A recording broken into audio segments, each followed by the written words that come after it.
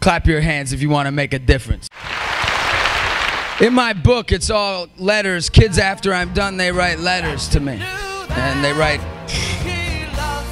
Man, you wouldn't want to be me when I get back home and look at my emails. When I was in the fourth grade, I started thinking about suicide.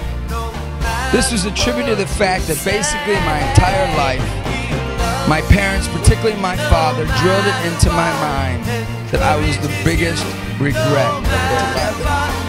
I started by blaming myself for everything. I didn't have any positive support or encouragement in my life, so I started to cut myself.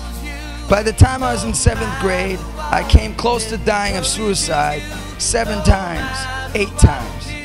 My aunt, who was my godmother, was the only person I could lean on. But then she got terminal lung cancer and got really sick and was ready to die. But what she told me was that God's plan never falters.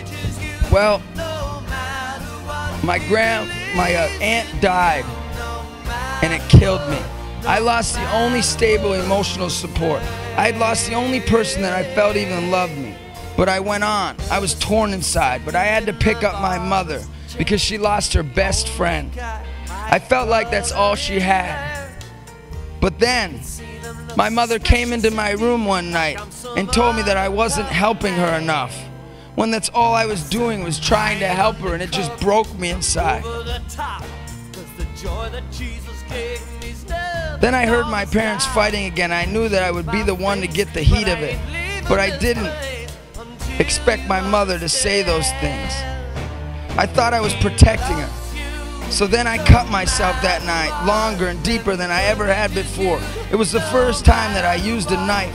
I let myself bleed and the wounds were so beat I, deep I still have scars. I went a week not even looking at my mother. I thought about leaving, but I couldn't. I finally broke down and had a gun pointed to my head. My hand was steady and all I needed to do was pull the trigger. I closed my eyes and all of a sudden my mother was in my head and all of a sudden the anger, the heartache, the regret went away. I went home and I knew I couldn't leave. Then later I found out that a friend of mine that night was praying a rosary for me. And somebody went to mass that night for me.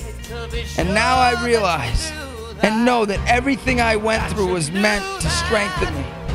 In addition to what I just told you, I was raped, beaten, emotionally torn, and I watched the one I love die.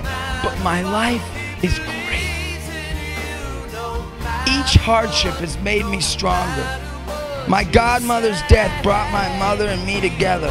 All that I've been through is nothing compared to what so many others go through. Justin, I can only hope that my story can help encourage others. And I can't be silent about the fact that I'm still alive. What